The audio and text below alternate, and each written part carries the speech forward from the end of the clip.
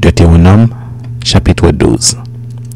Voici les lois et les ordonnances que vous observerez et que vous mettrez en pratique aussi longtemps que vous y vivrez dans le pays dont l'Éternel, le Dieu de vos pères, vous donne la possession.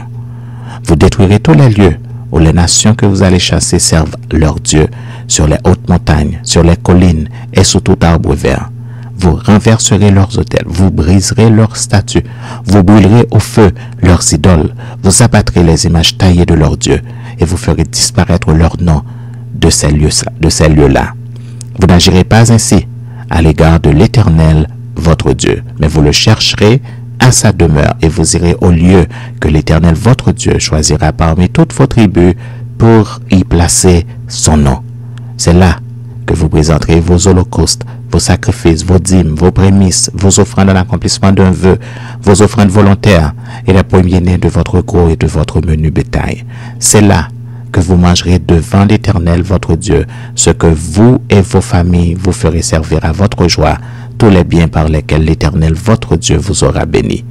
Vous n'agirez donc pas comme nous le faisons maintenant ici, où chacun fait ce qui lui semble bon, parce que vous n'êtes encore arrivé dans le lieu de repos et dans l'héritage que l'Éternel votre Dieu vous donne. Mais vous passerez le Jourdain et vous habiterez dans le pays dont l'Éternel votre Dieu vous mettra en possession. Il vous donnera du repos après vous avoir délivré de tous vos ennemis qui vous entourent et vous vous établirez en sécurité. Alors, il y aura un lieu que l'Éternel votre Dieu choisira pour y faire résider son nom c'est là que vous vous présenterez que c'est là que vous présenterez tout ce que je vous ordonne, vos holocaustes, vos sacrifices, vos dîmes, vos prémices et les offrandes choisies que vous ferez à l'Éternel pour accomplir vos vœux. C'est là que vous vous réjouirez devant l'Éternel votre Dieu, vous, vos fils et vos filles, vos serviteurs et vos servantes, et le Lévite qui sera dans vos portes, car il n'a ni part ni héritage avec vous. Garde-toi d'offrir tes holocaustes dans tous les lieux que tu verras, mais tu offriras tes holocaustes au lieu que l'Éternel choisira dans l'une de tes tribus, et c'est là que tu feras tout ce que je t'ordonne.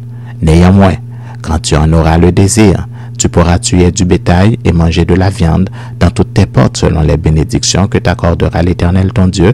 Celui qui sera impur et celui qui sera pur pourront en manger comme on mange de la gazelle et du cerf. Seulement, vous ne mangerez pas le sang. Tu le répandras sur la terre comme de l'eau. Tu ne pourras pas manger dans tes portes la dîme de ton blé, de ton mou et de ton huile, ni les premiers-nés de ton gros et de ton menu bétail, ni aucune de tes offrandes en accomplissement d'un vœu, ni tes offrandes volontaires, ni tes prémices mais c'est devant l'Éternel ton Dieu que tu les mangeras, dans le lieu que l'Éternel ton Dieu choisira, toi, ton fils et ta fille, ton serviteur et ta servante, et le Lévite qui sera dans tes portes. Et c'est devant l'Éternel ton Dieu que tu feras servir à ta joie tous les biens que tu posséderas. Aussi longtemps que tu vivras dans ton pays, garde-toi de délaisser le Lévite lorsque l'Éternel ton Dieu aura élargi tes frontières comme il te l'a promis, et que le désir de manger de la viande te fera dire, je voudrais manger de la viande, tu pourras en manger selon ton, désir.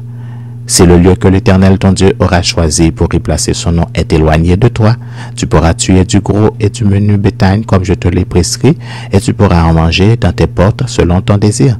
Tu en mangeras comme on mange de la gazelle et du cerf. Celui qui sera impur et celui qui sera pur en mangeront l'un et l'autre. Seulement, garde-toi de manger le sang, car le sang, c'est l'âme, et tu ne mangeras pas l'âme avec la chair. Tu ne la mangeras pas, tu le répandras sur la terre comme de l'eau. Tu ne la mangeras pas afin que tu sois heureux, toi et tes enfants après toi, en faisant ce qui est droit aux yeux de l'Éternel. Mais les choses que tu voudras consacrer et les offrandes que tu feras en accomplissement d'un vœu, tu iras les présenter au lieu qu'aura choisi l'Éternel. Tu offriras tes holocaustes, la chair et le sang sur l'autel de l'Éternel, ton Dieu. Dans tes autres sacrifices, le sang sera répandu sur l'autel de l'Éternel, ton Dieu, et tu mangeras la chair. Garde et écoute toutes ces choses que je t'ordonne, afin que tu sois heureux, toi et tes enfants après toi, à perpétuité, en faisant ce qui est bien et ce qui est droit aux yeux de l'Éternel ton Dieu. Lorsque l'Éternel ton Dieu aura exterminé les nations que tu vas chasser devant toi, lorsque tu les auras chassées, que tu te seras, tu te seras établi dans leur pays, garde-toi de te laisser prendre au piège en les imitant après qu'elles auront été détruites devant toi. Garde-toi de t'informer de leur Dieu et de dire comment ces nations servaient-elles leur Dieu? Moi aussi je veux faire de même. Tu n'agiras pas ainsi à l'égard de l'Éternel, ton Dieu, car elles servaient leur Dieu en faisant toutes les abominations qui sont odieuses à l'Éternel, et même elles brûlaient au feu leurs fils et leurs filles en l'honneur de leur Dieu. Vous observerez et vous mettrez en pratique toutes les choses que je vous ordonne. Vous n'y ajouterez rien et vous n'en retrancherez rien.